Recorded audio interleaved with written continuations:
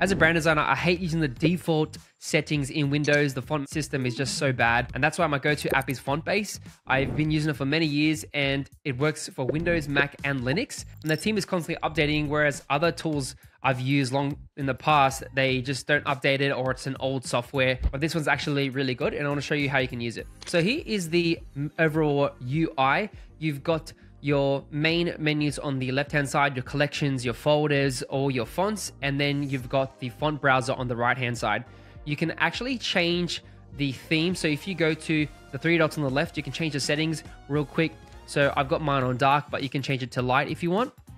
But I think dark looks nicer. And you also can auto sync collections. And there's a few other settings here. You can just copy mine if you like. So I want to show you its most powerful feature, which is the super search. So you can see I've got 12,000 fonts, which is crazy. No wonder my computer lags all the time because I've got too many fonts. So uh, you can see I'm in all fonts. I can scroll through and you can see I've just has, I just have so many fonts. It's crazy. Um, you've got recents. I've got some favorites uh, as well. And I've got the 6,000 activated, as you can see with the green little dot here. And I've got about 5,000 inactive um, because I don't want to keep everything activated because it just will make your computer slow every time you load up Photoshop or Illustrator because it has to load the previews for all the fonts.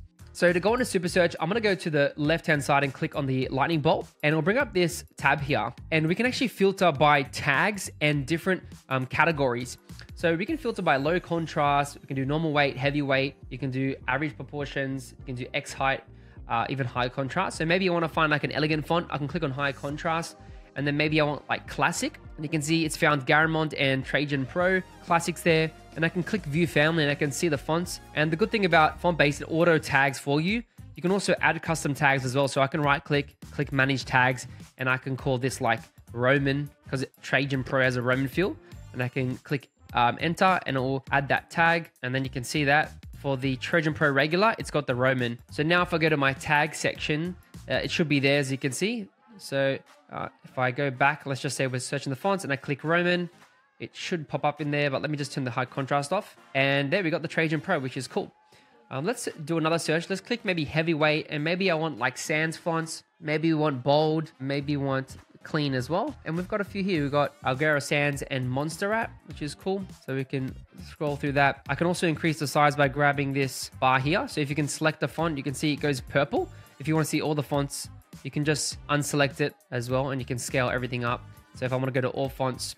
Now, if you do want to check other fonts, you can turn the tags off. You just left click once and I can turn off the tags. You've also got charts at the bottom. So if I'm searching for a specific style or detail, I can do weight. I can just left click and drag and search. It will give me all the fonts based on these characteristics here. And it's got like a little slider with some decimals. And so it's found all these fonts here. I can increase the cut size. If I want to change alignment, I can click center align if I, that's better, which is super cool. And then I can click reset button here, the little arrow that goes backwards to reset all those parameters. So you have full control. You can literally search anything you want. We can do geometric, we do futuristic, which you can see here. And if I want to activate a font, all I got to do is click the little circle on the left and it will activate it. To deactivate, I can click the green button and it will deactivate. So easy. And if you want to delete it from your actual computer, you can right click and click delete from disk. That's always an option. So if you want to cull your fonts, you can do that. So Super Search is very powerful. Um, I always use it when I'm looking for a specific font or a brand that I want to look like, or I want to get, then I can do that. You can also change the color of the fonts. If you click this little square here, you can change it red, blue, whatever. You get the background, you can change as well. So you have full control over all that, uh, which is really, really cool. And we can just go back. Now, what if I'm searching for a font that has glyphs that I specifically want? Maybe I'm doing like a trademark or I need a copyright symbol. You can actually go to search a font. So let's just say we want, um, let's type in Figtree. I've got this font here. I can left click on view family here and you can see you can see all the styles. So you can got the different weights light bold regular. You can actually turn off um, any weight you want. So you can deactivate maybe you don't want the italics you can deactivate all that. You can also um, pin or favorite your font. So if you click the little love heart let's say I like um, Figtree regular that will be added to my favorites on the left hand side as you can see. And if you pin a font then if you're in all fonts it will show up up the very top as you can see here Figtree regular um, you can see I've got the life heart and the pin, which is really cool. So let's go back to the family. I can click on glyphs and I can see everything that it has. And if I want to use, say, the copyright symbol, I'll just click copy, click on it, left click once, um, and I'll go to Illustrator and press paste. and you can see it's got the copyright symbol right here. Maybe you want to go to a different font.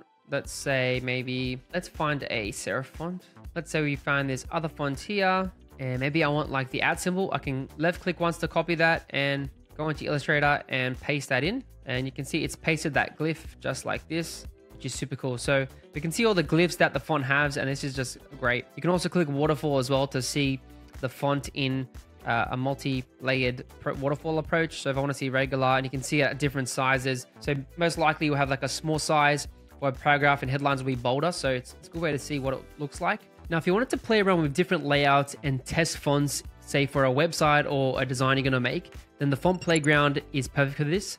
You can actually set two separate fonts. You've got font A and font B on the left-hand side. So let's go Geometrica for font A. We'll go uh, extra bold. And then font B, we'll pick something else.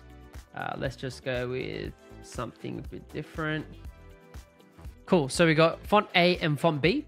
Then we can go on the left-hand side and you can see you can select on the individual um, sections and you can uh, see what font it's using. Then on the left-hand side, you can see what um, it's actually doing.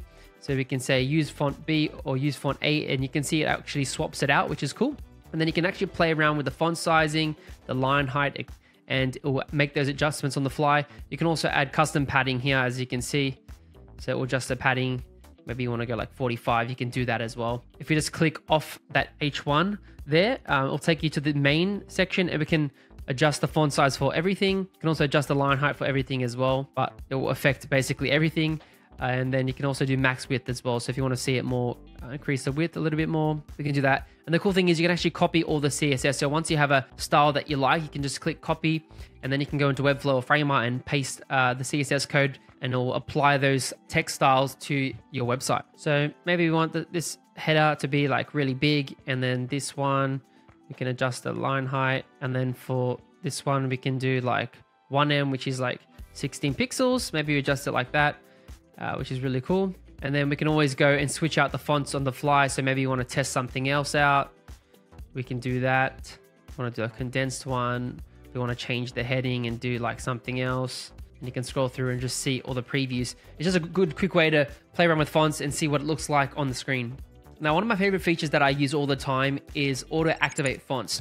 So what I want to do is I'm going to create a watch folder. Bottom left, click add, click watch folder. And you can see we've got a font folders from 2020 to all the way to 2025 and even 2026. I can put some fonts in here. So let's just say 2026, I'm going to select this folder and now it will add that into my folder section and we can see we have no fonts in there. So what I will do is I'm going to go add some fonts into that 2026 folder.